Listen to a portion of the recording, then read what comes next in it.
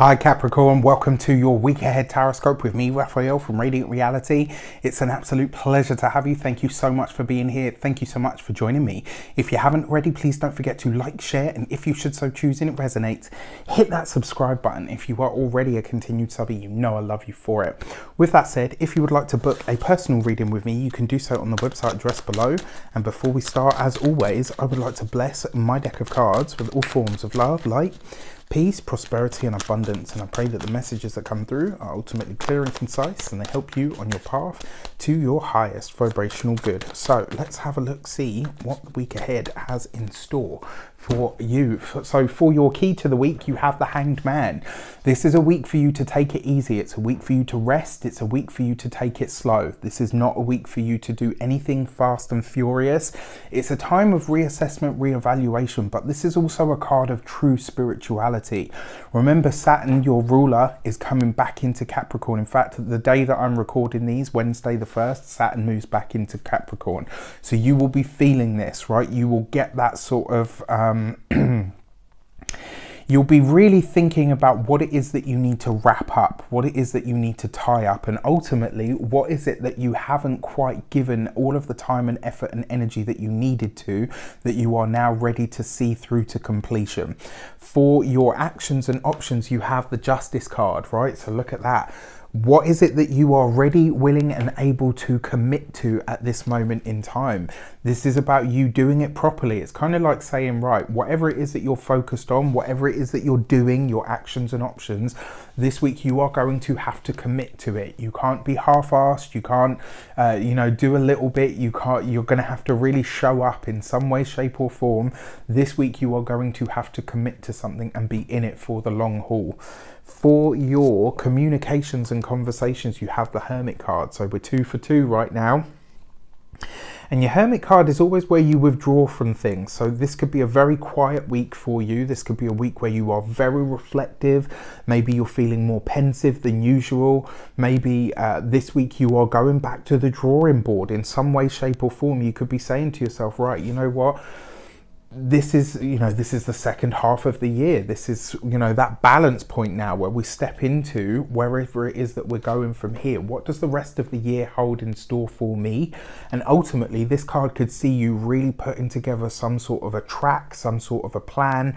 Maybe this is you very focused on where it is that you want to go. And this is where you're going to start to do that whole process of right who's going to be able to help me with this? Uh, what is it that I can do on my own? Uh, how much of it you know how how uh, how much um, how much of it can I do on my own? And ultimately how much should I do on my own?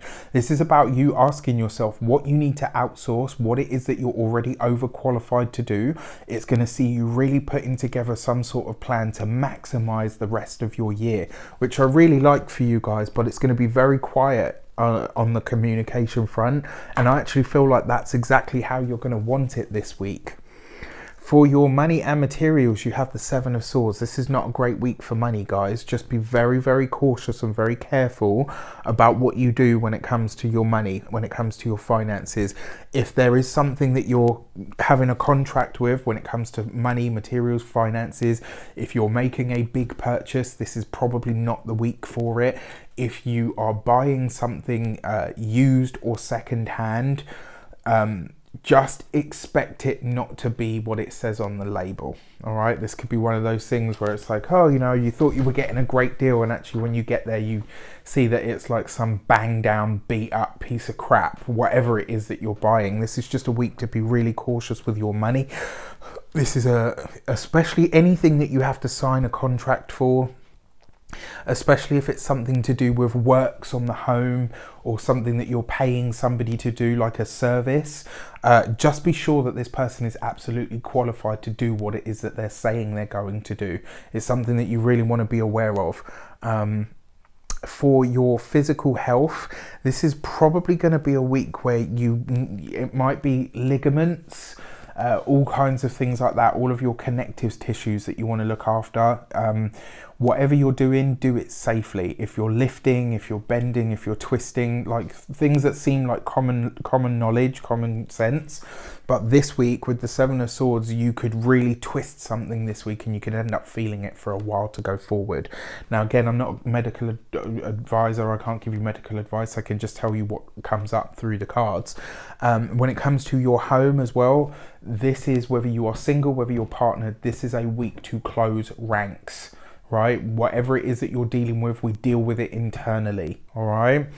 For your love and relations, you have the Ten of Wands. Um, so here's the thing I think for those of you that are partnered, it does look like you guys are going through something or processing something, but you're doing it together. And again, I stand by what I said just before. Whatever it is that is going on in house, this is not, unless it's a family member uh, and one that you trust at that, not like, you know, Aunt Sally twice removed. Um, Sometimes I, I literally have no idea what I'm about to say until it leaves my mouth. Um,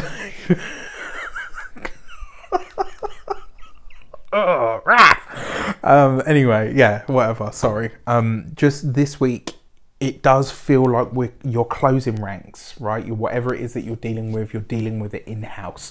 For those of you that are single, um, yeah, I've got to be honest, this doesn't look like the week where you're welcoming somebody in because the chances are you're not going to be getting the full story. And it may very well be if you are inviting them into your home it's not going to go well. So if you're inviting people over, you know, maybe someone says, "Oh, you know, I'll come. Can I bring a friend?" The answer is absolutely and unequivocally no. All right. With that said, I wish you an abundance of all of that good stuff. Let me know in the comments how it shapes up for you. Take care, and I'll see you soon.